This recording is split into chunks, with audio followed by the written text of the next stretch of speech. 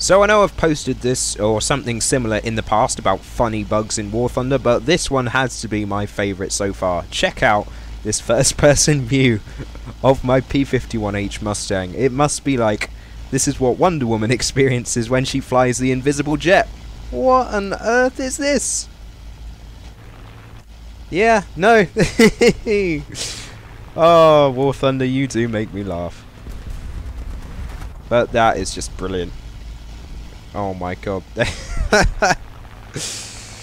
Sorry about the lag, but oh man, that's just too funny. I'm just going to do this and the rest of this in first person view. That's absolutely, it's quite disorientating actually, because you can't see the plane.